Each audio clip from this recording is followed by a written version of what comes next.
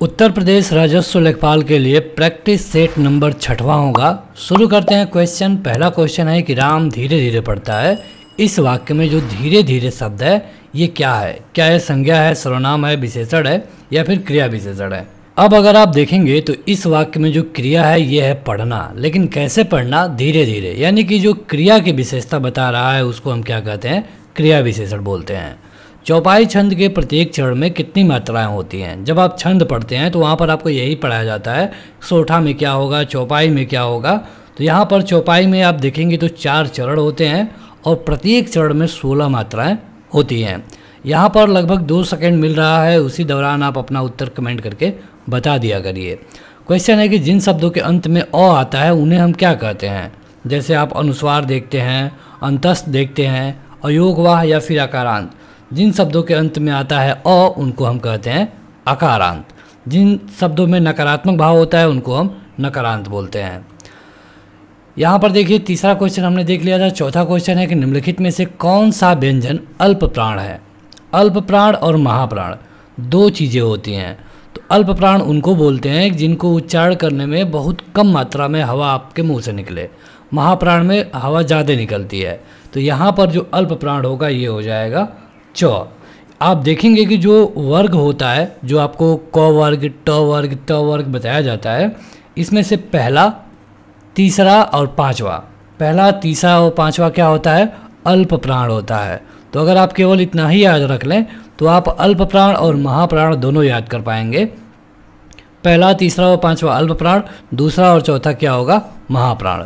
प्रत्यय क्या होता है? प्रत्यय और उपसर्ग, दो चीज़ें होती हैं। प्रत्यय वो होता है, जो कि शब्द के अंत में लगता है। उपसर्ग वो होता है, जो कि शब्द के आगे लगता है। लेकिन यहाँ पर अगर आप देखेंगे तो जो आपके विकल्प दिए गए हैं, ये होगा शब्दांश। यानी कि प्रत्यय, शब्द का एक अंश होता है। छठवें और सतवें में आपको असमानार्थक शब्द का चयन करना है, जो कि थोड़ा सा अलग है, ठीक है? यहाँ पर है स्वर, श्रवण, आवाज़ और ध्वनि। अब बताइए कि इनमें से असमानार्थक कौन है? मतलब तीन एक तरह से होगा, एक अलग होगा। स्वर मतलब होता है आवाज़। आवाज़ मतलब होता है ध्वनि, ठीक? लेकिन श्रवण मतलब होता है सुनना। तो यहाँ पर क्या अलग है? तो श्रवण अलग है। यहाँ पर छठवें का सी वाला ऑप्शन सही होगा। अब यहाँ बताइए, जन्म, उगना, मृत्यु और उत्पादन। बताएँ। जन्म हो रहा है मतलब एक नया वस्तु है या फिर व्यक्ति है, यहाँ पर उगना का मतलब भी वही है, उत्पादन का मतलब भी वही है, लेकिन मृत्यु मतलब ख़त्म होना होता है, यानी कि यह अलग है। अधिसूचना का अंग्रेज़ी अनुवाद क्या होता है? जो अधिसूचना होता है, उसको अंग्रेज़ी में हम क्या कहते हैं? बताएँ। इसको हम कहते हैं नोटिफिकेशन नवा क्वेश्चन है और इसमें से आपको बताना है कि तद्भव कौन है? पावन बानर पवन, बंदर और पर्यक। इसमें तद्भव कौन सा है? तद्भव होता है जो कि हिंदी भाषा का होता है, तत्सम वो होता है, जो कि संस्कृत भाषा से हुबहू लिया गया है। तो यहाँ पर देखिए, ये तत्सम है, ये भी तत्सम है और ये भी तत्सम है, लेकिन आपका सही उत्तर होगा बंदर। ये एक तद्भव है। निम्नलिखित में से कृतवाच का वाक्य बताइए। कृतवाच और कर्मवाच। तो कृतवाच का वाक्य पूछा गया है। तुलसीदास ने रामचरित मानस लिखी राम के द्वारा रावण को मारा गया। आज टहलने चला जाए। छात्रों द्वारा फुटबॉल खेली जाती है। तो यहाँ पर कृतवाच पूछा है मतलब जिसमें कर्ता प्रधान हो। तो यहाँ पर आपका पहला वाला विकल्प सही होगा। जैसे ये इस तरह के क्वेश्चन अगर आप देखें, मारा गया, चला नहीं जाता, उसको, उसे टहला नहीं जाता, खाया नहीं जाता, खाया जाता है तो ये सारे होते हैं कर्मवाच। यहाँ पर आपको बताना है कि ये जो चिन्ह है विराम चिन्ह प्रयुक्त होता है। किसके लिए? इस तरह का जो चिन्ह है, ये किसके लिए प्रयोग में लाया जाता है? ये आप बताइए। ये वाला चिन्ह। तो ये लाया जाता है तुल्यता सूचक के लिए। मुझे किस प्रकार का सर्वनाम है? सर्वनाम आप पढ़ते हैं, उत्तम पुरुष, मध्यम पुरुष, अन्य पुरुष तो मुझे क्या है? अगर आपको मुझे नहीं पता तो मैं तो पता होगा, मैं है उत्तम पुरुष। और वह क्या होगा? कौन सा पुरुष होगा? वह होगा अन्य पुरुष। और अगर कहा जाए कि तुम तो तुम होगा मध्यम पुरुष। यहाँ पर हम थोड़ी थोड़ी आपको जानकारी देते चल रहे हैं और थोड़ी इसलिए ताकि वीडियो भी बड़ी ना हो। यहाँ पर अगला क्वेश्चन है कि निम्नलिखित में से कौन सा शब्द गणेश का प्रवासी नहीं है? जैसे गणेश जी को हम लंबोदर बोलते हैं, जिनका लंबा पेट हो। विनायक भी बोलते हैं तो यहाँ पर आपको बताना है कि कौन सा शब्द उनका प्रवासी नहीं है। दो चीज़ें हमने आपको बता दिया। इनको एक दंत भी बोला जाता है और पूछा गया है कि पर्यावाची नहीं है, यानी कि हो जाएगा धनद। आगे बढ़ते हैं और ये है चौदह नंबर। यहाँ पर सुशिक्षित में आपको बताना है कि उपसर्ग क्या है। उपसर्ग वो होते हैं जो कि किसी भी शब्द के आगे लग करके उसका अर्थ बदल देते हैं, ठीक है? तो यहाँ पर बताइए, सुशिक्षित में होगा सु। अतः अतः शब्द का समानार्थी बताना है। मतलब अतः का क्या मतलब होता है? वही मतलब इन चारों में से किसी एक का होगा। आपको बताना है कि वो कौन है। जैसे हम कहते हैं कि आ, आपने ये काम किया अतः ये हो जाएगा। या फिर आपने आ, कड़ी मेहनत से पढ़ाई की अतः आपका सिलेक्शन हो जाएगा। अतः मतलब क्या? इसलिए ठीक है? यानी कि आपका जो रिज़ल्ट है ये। यानी कि आपका सही उत्तर हो जाएगा परिणामतः ठीक है? किसी वर्ण का उच्चारण स्थान कंठ तालु है। किसका? इनमें से आपको बताना है, कंठ और तालु। देखिए, कंठ और तालु और कंठ और ओष्ठ, ये कई बार पूछे जाते हैं। तो अगर आपसे कंठ और तालु पूछा जाए, जैसे कि इसमें पूछा गया है तो आपका उत्तर होना चाहिए ए और आय। अब यहाँ देखिए, आपका विकल्प सही हो जाएगा ऑप्शन नंबर बी। लेकिन अगर आपसे ये पूछ ले कि कंठ और ओष्ठ बताइए तो कंठ और ओष्ठ में होता है ओ ओ और आ। दो वर्णों के मेल से होने वाले विकार या फिर परिवर्तन को क्या कहते हैं? दो वर्णों का मेल, ठीक है? यहीं पर अगर दो शब्दों का मेल पूछा गया होता, तब आपका उत्तर अलग होता, लेकिन दो वर्णों में क्या होगा? संधि होगा। दो शब्दों में क्या होता है? समास होता है। बढ़ते हैं आगे और यह है अठारह नंबर की रौद्र रस का स्थायी भाव क्या होता है? अब देखिए, रस आप पढ़ के ज़रूर जाइएगा। रस से ज़रूर क्वेश्चन पूछा जाएगा। रस, छंद, अलंकार, ये अगर एक एक क्वेश्चन पूछा जाए तो ये काफ़ी महत्वपूर्ण चैप्टर है। रौद का अगर आप अस्थाई भाव देखेंगे तो ये होता है क्रोध, ठीक है? वीर का अस्थाई भाव क्या होगा? ये आप हमें कमेंट करके बताइएगा। वीर रस का अस्थाई भाव क्या होगा? ये आप हमें बताएँगे कमेंट करके। उस तपस्वी से लंबे थे देवदार दो, चार खड़े। इसमें अलंकार कौन सा है? कहा गया है कि एक तपस्वी था और उसी के समान थे देवदार के। जो वृक्ष थे। अब आप पढ़े होंगे कि देवदार का वृक्ष काफ़ी बड़ा होता है। लेकिन यहाँ पर कहा गया है कि तपस्वी से मतलब तपस्वी के समान। तो यहाँ पर देखिए, प्रतीप अलंकार होगा। अब प्रतीप अलंकार क्या होता है? तो प्रतीप अलंकार का मतलब ये होता है उल्टा। उल्टा कहने का ये मतलब है कि यहाँ पर ये कहा जा सकता था कि जो देवदार का वृक्ष है, ये तपस्वी से लंबा है, लेकिन यहाँ पे उल्टा कहा गया है और जहाँ पर भी इस तरह का होगा, ये होगा प्रतीप अलंकार। छत से ईट गिरी। इस वाक्य में कारक आपको बताना है। आपको पता है कि कारक पहले छः होते थे, लेकिन फ़िलहाल इनकी संख्या आठ मानी जाती है और यहाँ पर कहा गया है कि छत से ईंट गिरी। तो यहाँ पर से वाले को ही देखकर आपको पता चल जाना चाहिए कि ये होगा अपादान। वैसे तो से से ही करण होता है और से से ही अपादान होता है, लेकिन करण में ये साथ होता है, लेकिन अपादान में अलग होता है। एक अनार, सौ बीमार।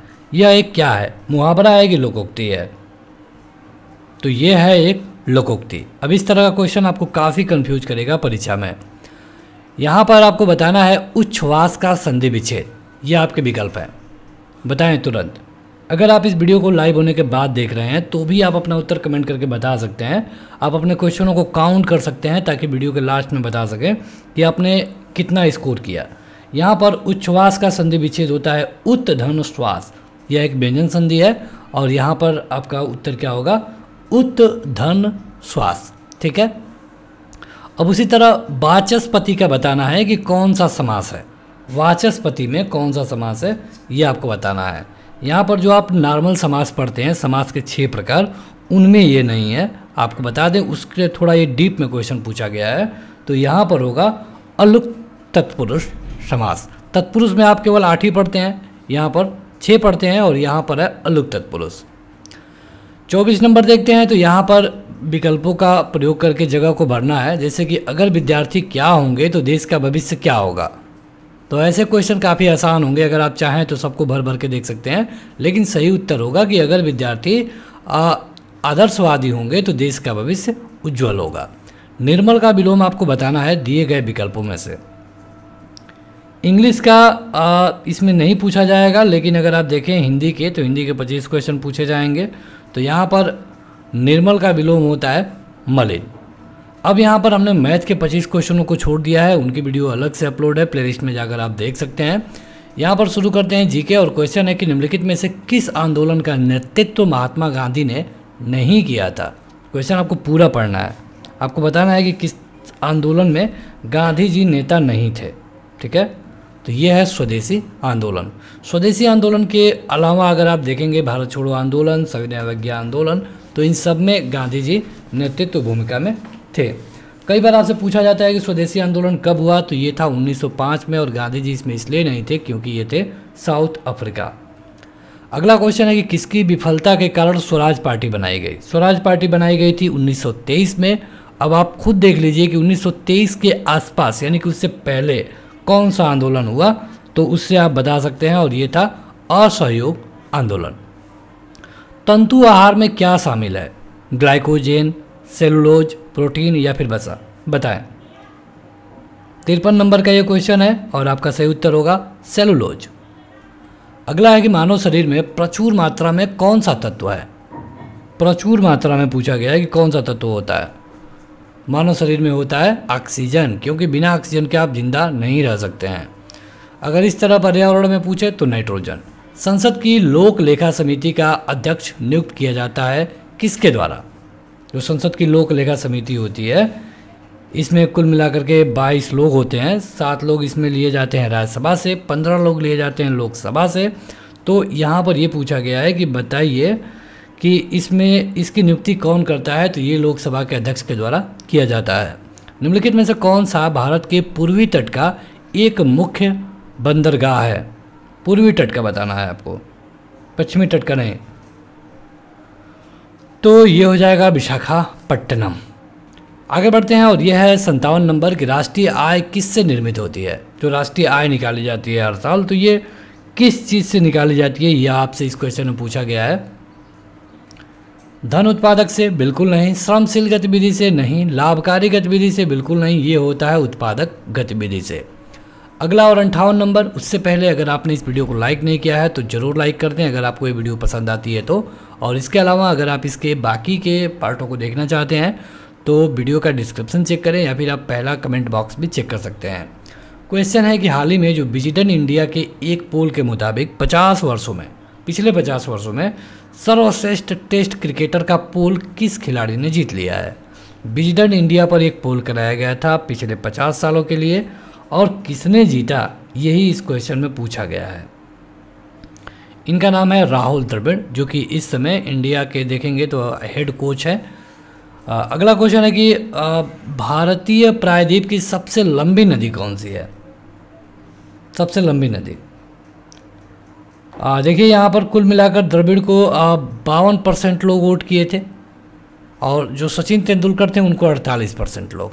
तो ये भी आप जानिए, इस वाले क्वेश्चन का बता रहे हैं। भारतीय प्रायद्वीप की सबसे लंबी नदी पूछा गया है तो इसके लिए जो आपका सही उत्तर होगा, ये होगा गोदावरी, ठीक है? प्रायद्वीप पूछा गया है, ठीक है?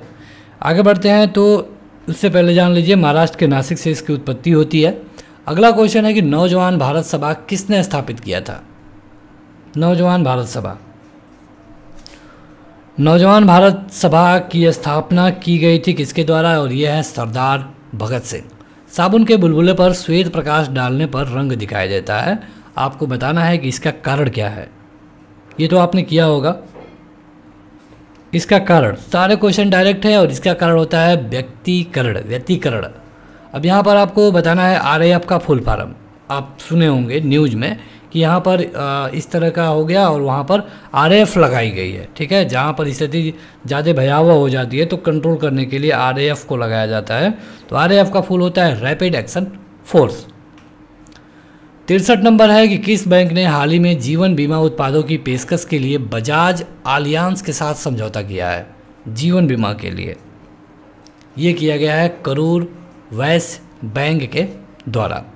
डायनोमो, आप देखे होंगे, डायनोमो जो कि बिजली निकालता है तो वो करता क्या है? इस क्वेश्चन में वही पूछा गया है।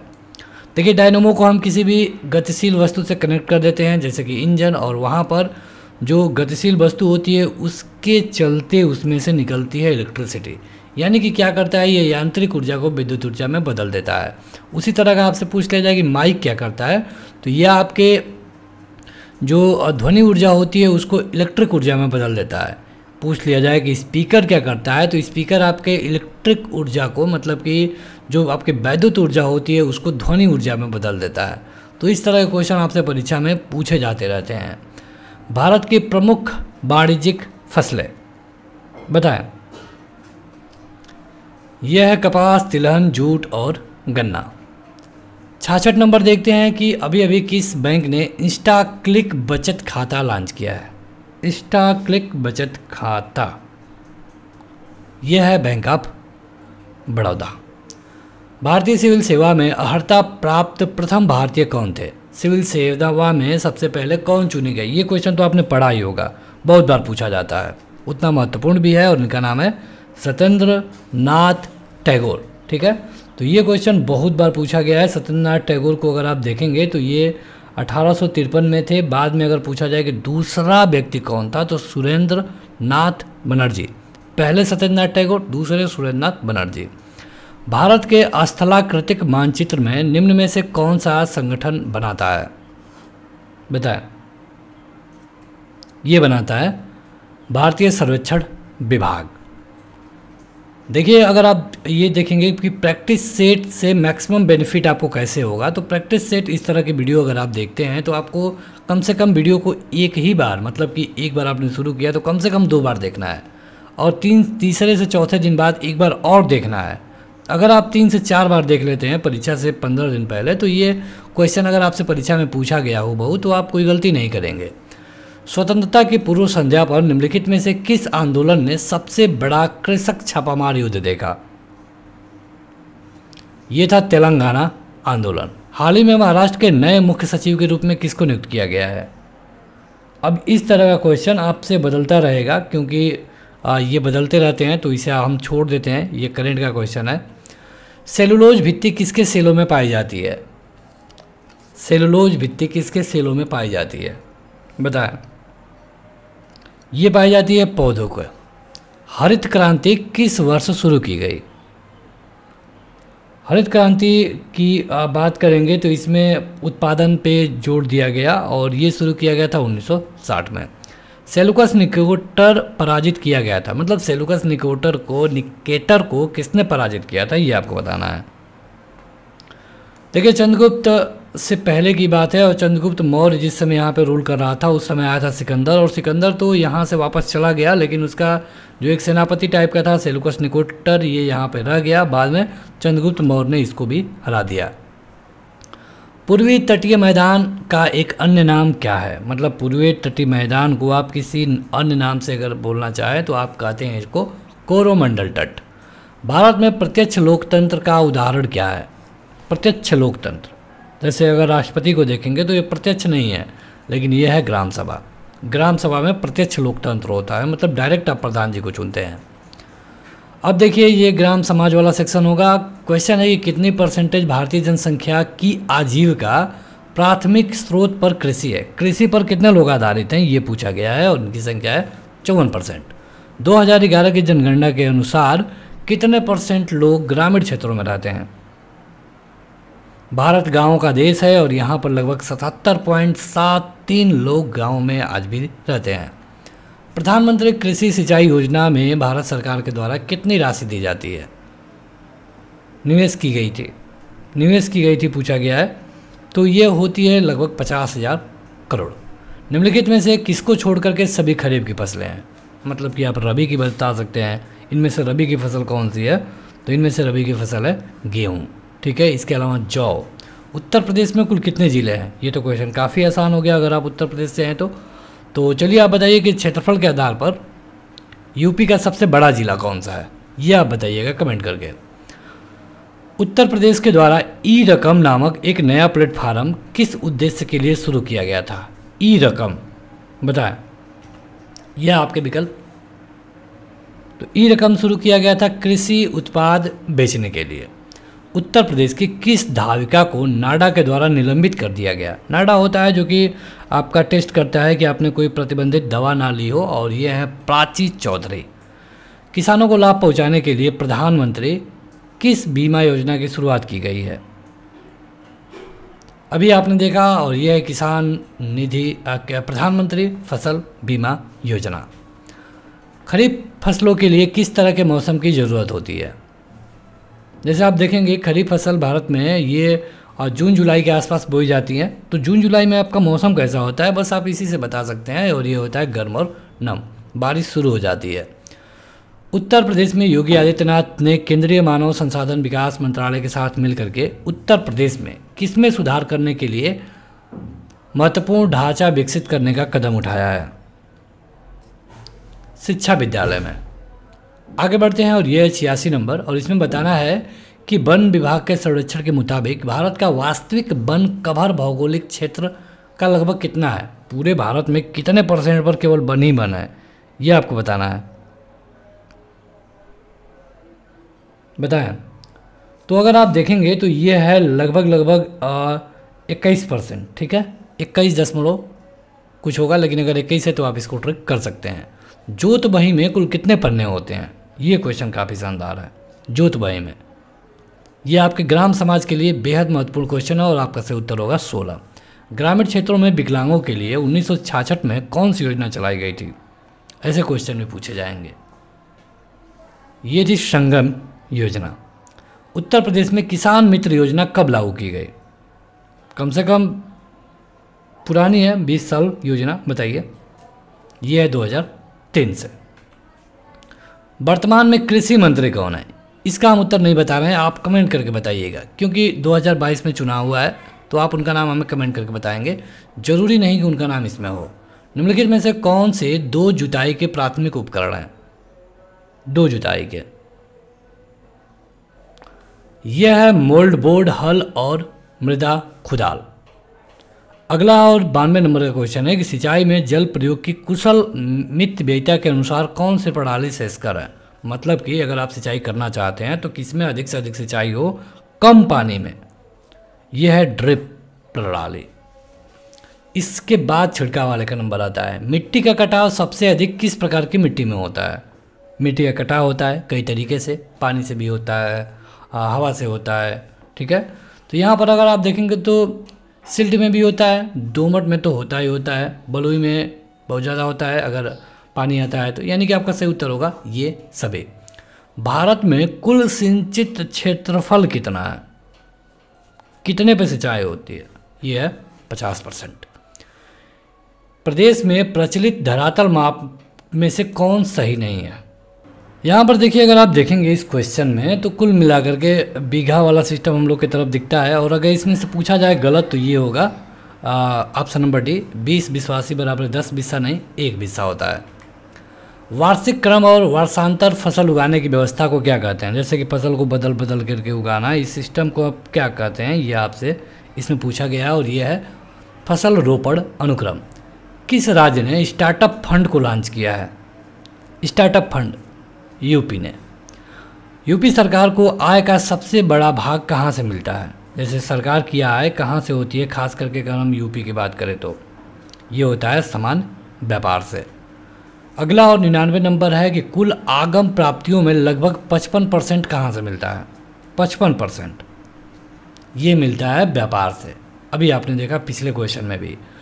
उष्ण कटिबंधीय शुष्क पर्णपाती वन यूपी के किस क्षेत्र में पाया जाता है? ये पाया जाता है। अगर आप देखेंगे तो पूर्वी मैदान में भी, पश्चिमी में भी, यानी कि आपका सही उत्तर होगा ये सभी। मध्य में भी। उष्ण कटिबंधीय शुष्क पर्णपाती वन तो फ़िलहाल इस वीडियो में इतना ही। यहाँ पर हमने पचहत्तर क्वेश्चन को कवर किया है। आपका स्कोर कितना है, आप कमेंट करके ज़रूर बताइए। वीडियो अगर पसंद आती है तो इसे लाइक करने के साथ चैनल को ज़रूर सब्सक्राइब करें। Thank you